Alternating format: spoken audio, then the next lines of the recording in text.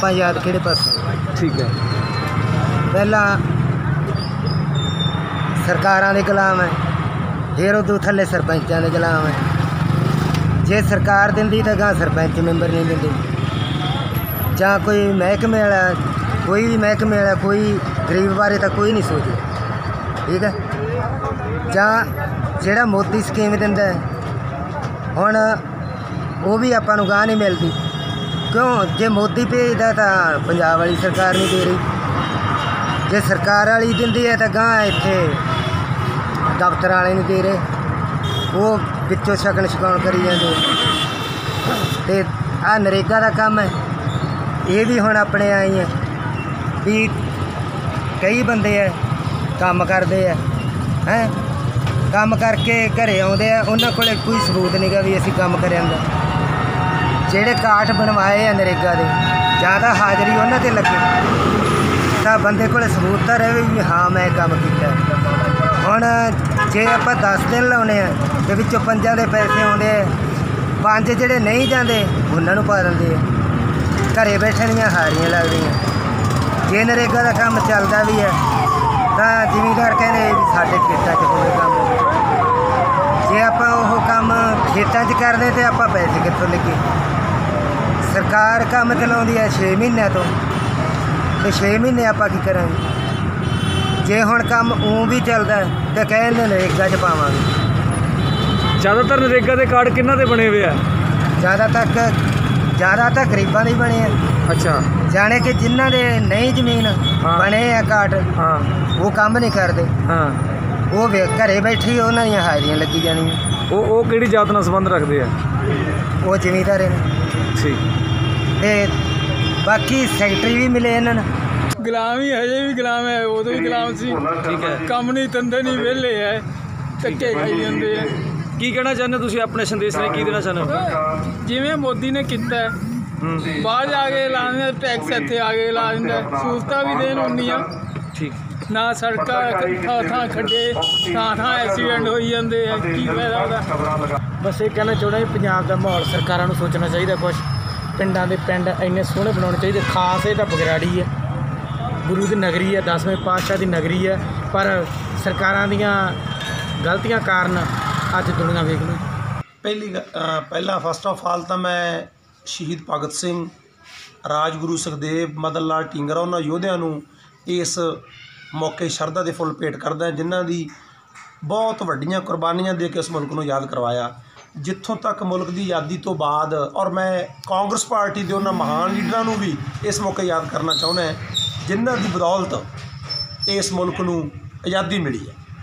ਕਾਲੀ ਕਾਂਗਰਸੀ ਮੁਸਲਮਾਨ ਹਿੰਦੂ ਸਿੱਖ ਸਭ ਨੇ ਆਪਣਾ ਆਪਣਾ ਬਣਦਾ ਯੋਗਦਾਨ ਪਾਇਆ। ਠੀਕ ਹੈ ਸਮੇਂ ਅਨੁਸਾਰ ਮਹੱਤਵ ਬਦਲਦੇ ਰਹਿੰਦੇ ਨੇ। ਜਿੱਥੋਂ ਤੱਕ ਆਜ਼ਾਦੀ ਤੋਂ ਬਾਅਦ ਸਵਾਲ ਹੈ ਡਿਵੈਲਪਮੈਂਟ ਦਾ ਉਹ ਸਾਨੂੰ ਪੂਰੀ ਨਹੀਂ ਮਿਲੀ। ਅਗਰ ਇੱਕ ਗਰੀਬ ਆਦਮੀ ਬਿਮਾਰ ਹੋ ਜਾਂਦਾ ਉਹਦੇ ਵਾਸਤੇ ਕੋਈ ਸਹੂਲਤ ਨਹੀਂ।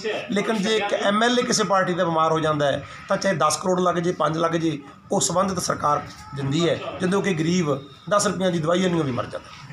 ਲੋਕ ਜਿਹੜੇ ਹਜੇ ਵੀ ਸੰਤਾਪੇ ਹੋਏ ਹਨ, ਬਹੁਤ ਸਾਰੇ ਸਾਡੇ ਜਿਹੜੇ ਬੇਰੁਜ਼ਗਾਰ graduate post graduate doctors engineer ਜਿਨ੍ਹਾਂ ਦੀ ਕਿ ਇੱਥੇ ਲੋੜ ਹੈ ਜਜ਼ਬ ਕਰਨ ਦੀ, ਉਹ ਬ੍ਰੇਨ ਡਰੇਨ ਹੋ ਰਿਹਾ ਹੈ।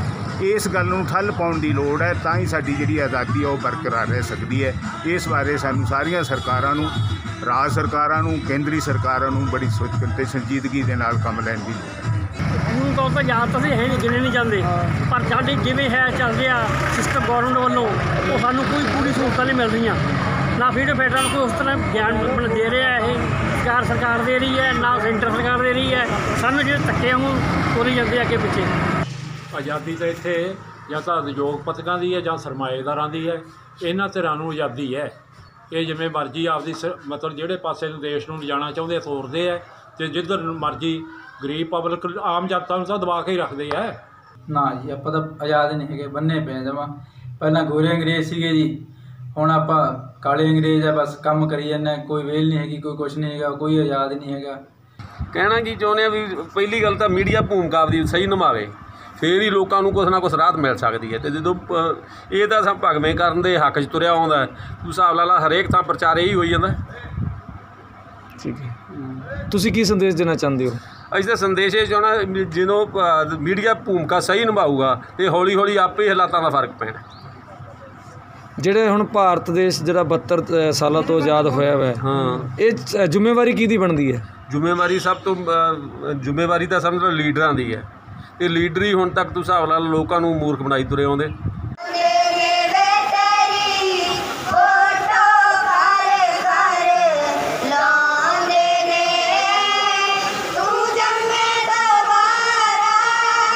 ਸਾਰਾ ਦੇਸ਼ ਹੈ ਜਿਹੜਾ ਉਹ ਖੁਸ਼ਹਾਲ ਰਵੇ ਹਰ ਸਾਲ ਭਾਈਚਾਰਕ ਸਾਂਝ ਨਾਲ ਕੌਮੀ ਦਿਹਾੜੇ ਦੇ ਉੱਪਰ ਸਾਂਝ ਹੈ ਆਪਣੀ ਪੇਸ਼ਕਾਰੀ ਕਰਦੇ ਹੈ। ਵੀ ਜੇ ਲੋਕਾਂ ਦੀ ਸਮਝ ਉੱਪਰ ਉੱਠ ਜੇ ਵੀ ਅਸੀਂ ਚੰਗਾ ਬੰਦਾ ਲਿਆਉਣਾ ਤਾਂ ਹੋ ਸਕਦਾ ਜੇ ਸਾਨੂੰ ਅੱਜ ਇਹ ਨੁਮਾਇੰਦਾ ਮਾੜਾ ਲੱਗਦਾ ਤਾਂ ਅਸੀਂ ਗਾਂ ਨੂੰ ਚੰਗਾ ਲੈ ਆਈਏ। ਜਾਂ ਹੋ ਸਕਦਾ ਇਹ ਆਪਣਾ ਕੰਮ ਸਹੀ ਕਰੇ ਤੇ ਇਹ ਵੀ ਚੰਗਾ ਬੰਦਾ ਬਣ ਸਕਦਾ। ਚੰਗਾ ਮਾੜਾ ਬੰਦਾ ਬਣਨਾ ਬੰਦੇ ਦੇ ਹੱਥ 'ਚ ਖੁਦ ਹੁੰਦਾ। ਬਜ਼ੁਰਗਾਂ ਦਾ ਸੁਪਨਾ ਸੀ ਆਜ਼ਾਦੀ ਦਿਲਾਉਣ ਉਹ ਅਜੇ ਵੀ ਅਧੂਰਾ ਹੈ। ਇਹ ਕਿੰਨਾਂ ਦੀ ਜ਼ਿੰਮੇਵਾਰੀ ਹੈ? ਇਹ ਸਾਡੀਆਂ ਸਰਕਾਰਾਂ ਜਿਹੜੀਆਂ ਬਾਰ-ਬਾਰ ਆਉਂਦੀਆਂ ਬਾਰ-ਬਾਰ ਬਦਲਦੀਆਂ ਉਹਨਾਂ ਨੇ ਕੰਮ ਆਪਦੇ ਹਿੱਤਾਂ ਦੀ ਖਾਤਰ ਹੀ ਸਾਰੇ ਦੇਸ਼ ਨੂੰ ਆਪਦੇ ਲਾ ਰੱਖਿਆ ਦਾ। ਕੋਈ ਪਬਲਿਕ ਨੂੰ ਸਹੂਲਤਾਂ ਨਹੀਂ ਕੋਈ ਬਸ ਕੁਛ ਦਾਇਰਿਆਂ 'ਚ ਰਹਿ ਕੇ ਆਪਦਾ ਕੰਮ ਕਰੀ ਕਿੱਧਰਲੇ ਮਰਜ਼ੀ ਪਾਸੇ ਲੈ ਲਓ ਜੀ ਅਸੀਂ ਹਰ ਪਾਸੇ ਗੁਲਾਮ ਆਈ ਅੱਜ। ਪਿੰਡ ਵੱਲੋਂ ਵੇਖ ਲਓ ਜੀ ਉੱਥੇ ਪੱਧਰ ਤੇ ਜਾਤੀਵਾਦ ਵੱਲੋਂ ਵੇਖ ਲਓ ਅਸੀਂ ਫੇਰ ਵੀ ਨੀਵੇਂ ਆਈ ਸਾਨੂੰ ਅੱਜ ਫੇਰ ਪੂਰੀ ਆਜ਼ਾਦੀ ਨਹੀਂ ਆਈ ਹੈ। ਆਪਣੇ ਪੂਰੇ ਹੱਕ ਨਹੀਂ ਮਿਲ ਰਹੇ ਸਾਨੂੰ ਅੱਜ।